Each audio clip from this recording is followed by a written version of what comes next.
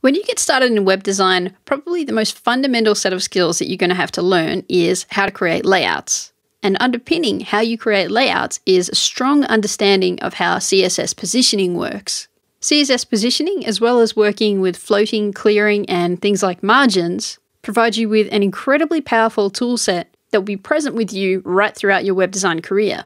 But as powerful as these things are, they can be equally confusing when you're first trying to master those essentials. But by the time you've finished this course, you're going to have a firm grasp of exactly what you need to know to feel comfortable using this toolset in any way that you need to. Now, with this course, we're going to do things a little bit differently. Instead of just showing you through lines and lines of code, we're going to be learning visually. Through a free account at Webflow, you're going to go through the lessons in this course using a visual interface that will give you real time feedback as you are applying CSS changes.